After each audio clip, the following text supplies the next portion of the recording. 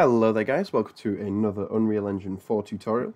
In this one we're going to be taking a look at splines. Now this is something that confused me for the longest time and I found that once I cracked it, it actually really opened up a lot of things in terms of making games for me. So I'm going to go ahead and share just the basics with you today.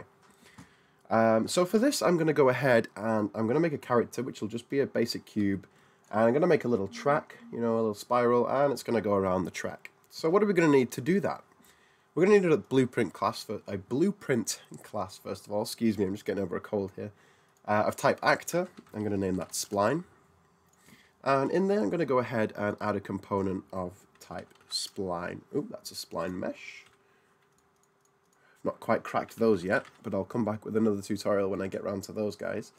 Um, so there we go, we've got a spline now. That's that, that's all we need to do in here. Not sure why this window's so big, but okay. So that's our spline.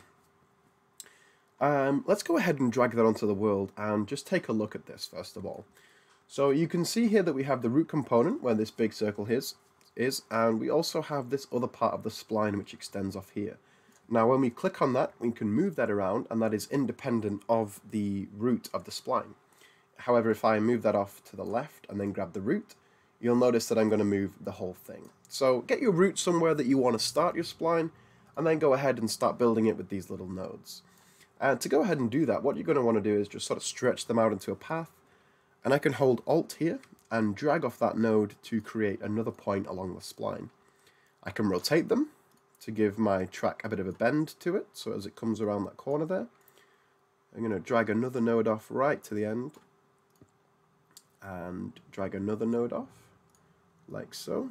Just did that one in the uh, rotate section there and we'll drag one final one down to there. So there we have our spline. Let's imagine that you run this through a valley or somewhere a little bit more interesting than a cube.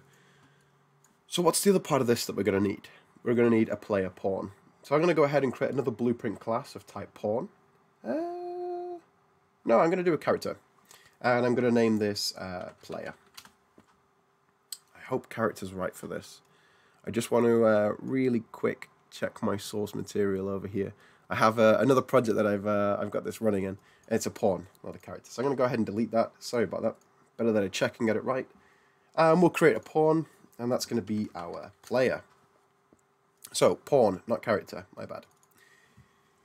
Inside the player, we're going to need a variable of, um, this is going to be a spline reference. So I'm going to name it spline reference. And I'm actually going to go ahead and take that space out and save that. It's not a boolean, it's going to be of type um, spline, you know, the object that we've just created. So I'll make an object reference to that, and I'm going to make this a public variable by clicking this little icon here. This basically means that when I drop them in the world, in fact we should be able to do that already, just add a cube to this guy so we can see him.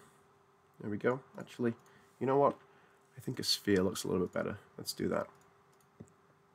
And let's put the sphere on top of the root so that when the root moves along the spline, you know, the sphere sits on top of that. So let's do that there nicely.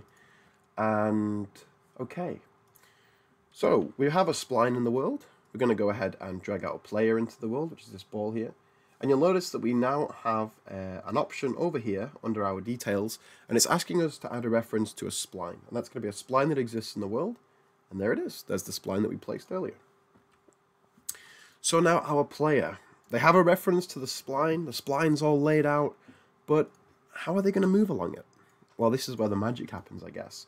So the first thing you're going to want to do is right-click and create a new timeline.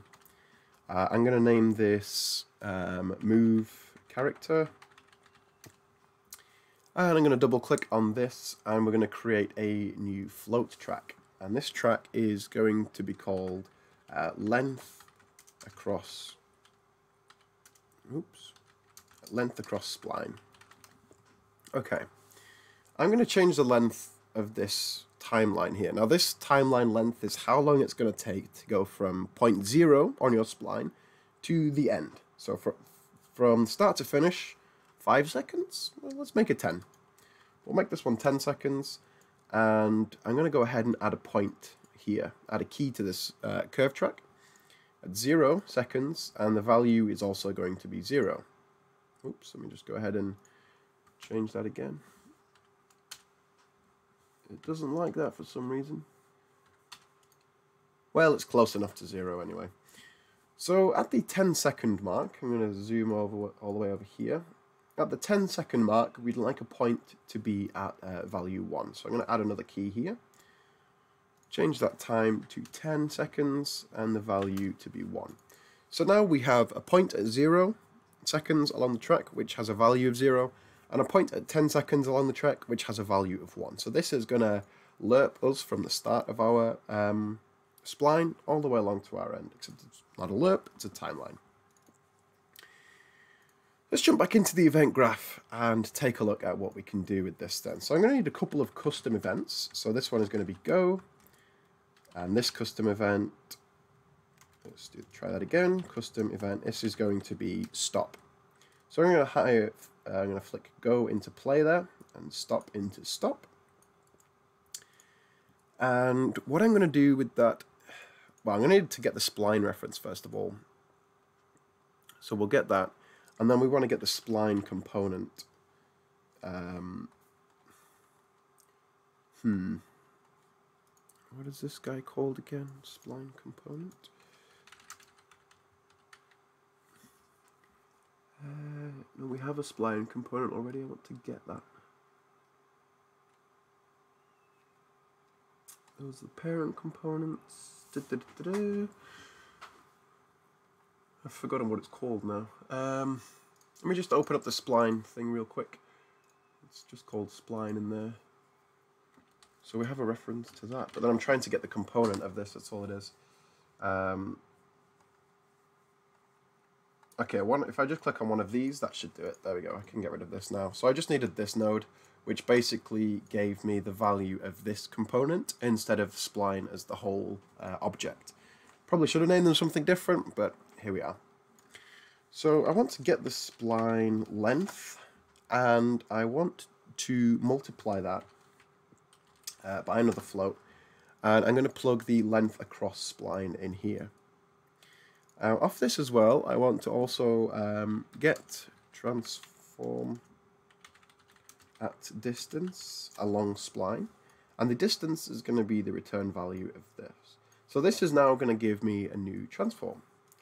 On my update I'm going to set actor transform of myself and I'm going to plug in this transform into here and what I'm going to do is I'm going to make a little timer. So actually I do want the event begin play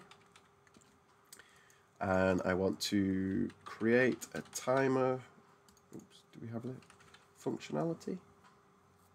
Uh, set a timer by event and this is going to be every second. Sorry, this isn't necessarily part of moving on the spline. You'll see what this does in a moment. Um, this is simply to start and stop the player as they move along the spline. So I'm going to do flip, flop as my event. It'll come out of there into, you guessed it, a flip flop. Nope, wrong one. Flip, flop, is in this guy. And on A we're going to have go, and on B we're going to have stop. So this is every second it's going to call go, and then it's going to call stop, and then it's going to call go, and then it's going to call stop. And what we should have is our player move along the spline, stop, move along the spline, stop. You know, it should, it should alternate. So let's take a look and see whether that's the result that we get. So there we go. We have our uh, character moving somewhere. He's um, He's got that transform a little bit wrong. But it looks like he's um it looks like he's going for it. So we have the character moving, but something's not quite right about that. I'm just going to go ahead and take a look in the character viewport, make sure that everything is centered over here. We have that in the middle, so I'm not sure why the ball would sit so far off course. Let's go and take another look at that moving of the character, see we can uh, figure something out. Coordinate space, let's change that to world. Compile that, and hit play. And now our ball moves nicely along the spline, stopping and starting every second.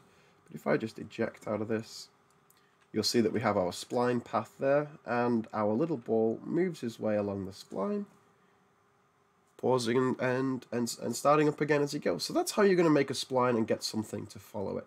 Now, if you look inside the player, you can make a guess as to what you're going to call if you want this thing to go backwards. Um, the only other thing that I'd really like to point out while we're on this, I'm not too sure if I can fit it.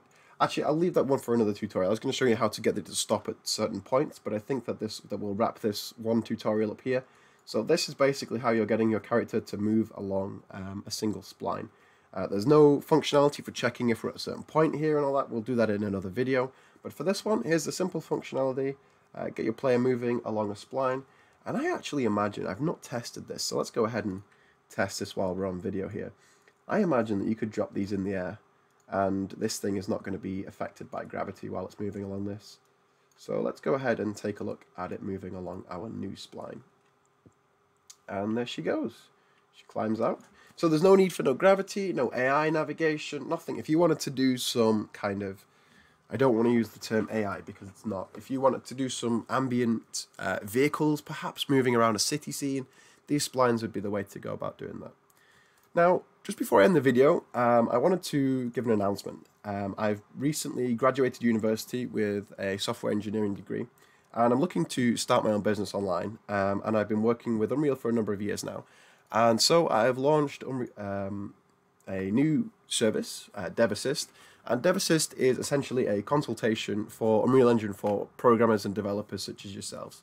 If you find yourself that you're stuck on a particular problem, um, that you're unable to to break through that barrier and to continue with your development, then get in touch. You know, we can sit down on Discord, we can have a chat, and for a fair price, we can work through what it is that's slowing you, you and, and your development down, and we can get you back on track. So I'll leave a link to that in the description below.